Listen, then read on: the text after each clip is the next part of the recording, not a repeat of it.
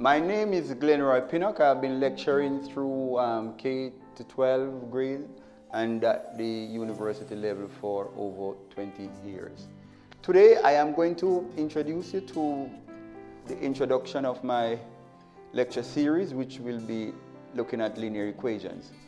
Now there are three basic types of linear equations, one in which there is denominators and two in which you don't have denominators. Well, these would be the simpler of all the equations.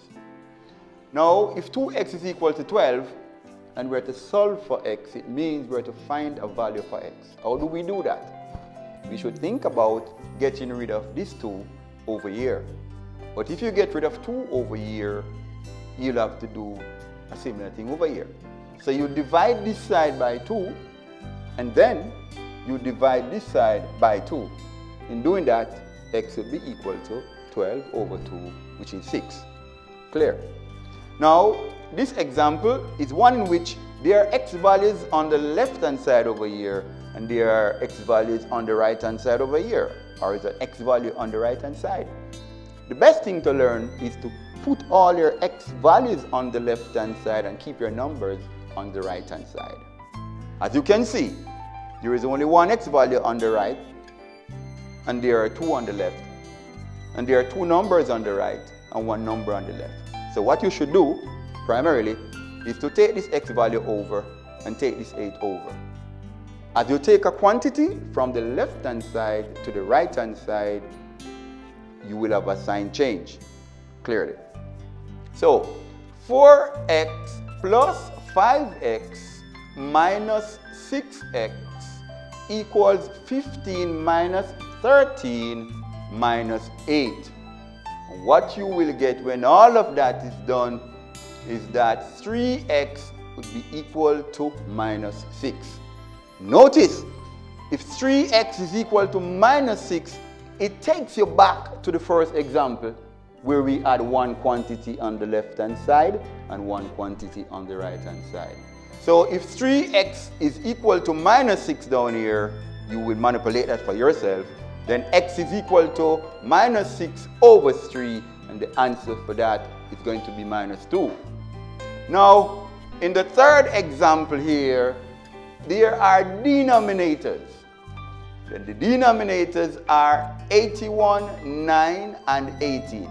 In order to solve this linear equation, we must get rid of the denominators by finding the, by finding the LCM and the LCM, which means least common multiple for 81, 9, and 18 would have been what? You will have to determine what number 81, 9, and 18 can go into without leaving a remainder. I'm going to let you determine what number that is. When that number is attained, you are going to multiply this equation throughout by the LCM. And in doing that, you're basically getting rid of the denominators.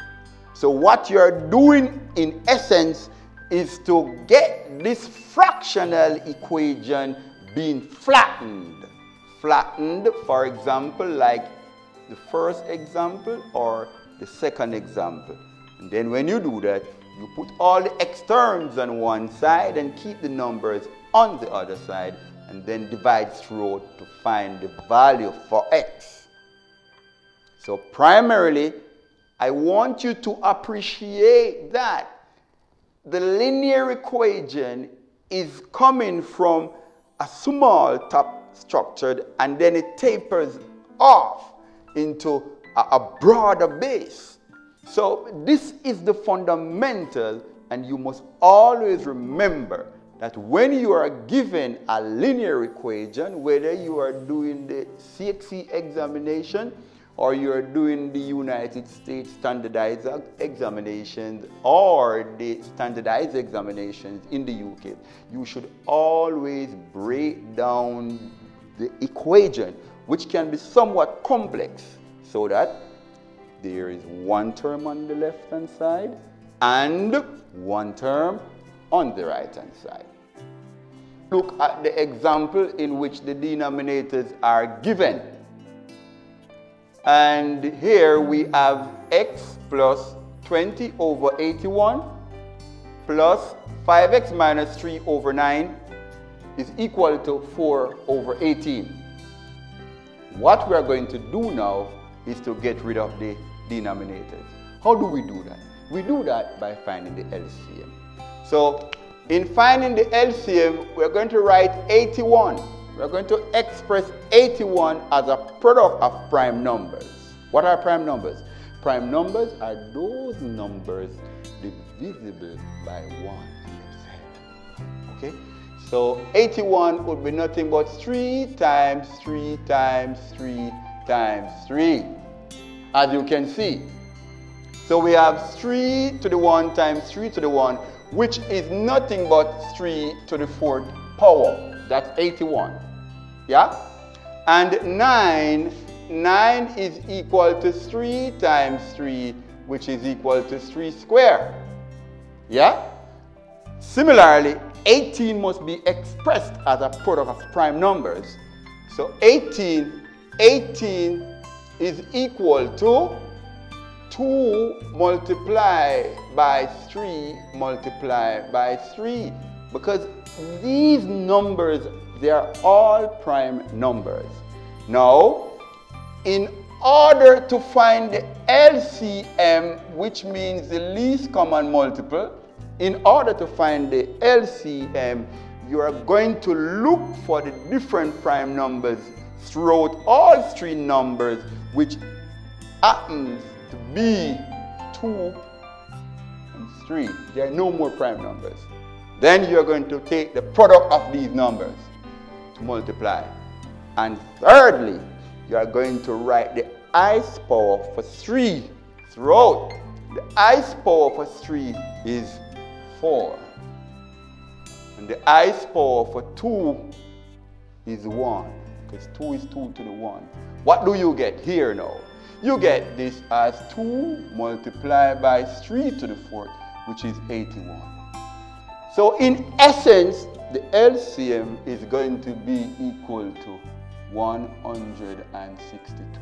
So the LCM in essence is equal to 162.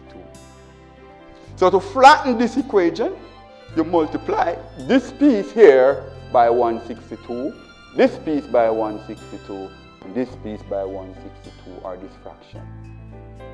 What would you get? You'd basically get, look at it, 162 is 2 times 81. So if you multiply this by 81 times 2, what you would get is that 81 cancel 81. And then you would get 2 multiplying x plus 20. Yeah? And here, 9 into 2 times 81. But 9 into 81 goes 9. And 9 2 is 18. So this portion you would have plus 5x minus 3 to be multiplied by 18. Yeah? And this is now going to be equal to 4 over 18, yeah, multiplied by 2 times 81. And as you can see, a, if this is used to multiply 4 over 18, then 2 into 18 goes 9, and 9 into 81 goes 9. So what you'll be left with over here is 4 multiplying by 9. Now look at this. This is a flattened equation, which is, the, which is one of the objectives of linear fractional equations. We are working it such that the equation is flattened. So now you have learned additionally how to find the LCM without using your calculators because in order to be developed as a mathematician, your numerical skills must be developed in such a way that you can work out lot of multiplication, division, LCM, HCF without using your calculators. So now that your equation is being flattened, there are going to be terms in front of your brackets. So what you do, use this term to multiply x and 20. Use 18 to multiply 5x minus 3 and clearly use 4 to multiply 9. When you do that, you are going to go back to this example where you have x's and numbers on one side. What you should do, keep all the x's on one side here and bring the numbers over such that you will ultimately achieve one quantity on the left hand side and one quantity on the right hand side. Also, remember that as you move a quantity from the left hand side to the right hand side, you will have a sign change. A sign change means if it is negative on this side, on the left hand side, when it goes over to the right hand side, it becomes positive. If it is positive on the right hand side, when it is being taken over to the left hand side, it shall become what? Negative. That must be remembered. Remember your sign change. Thank you very much. And that is all we are doing in Module 1, which is considered to be linear equations. Thank you.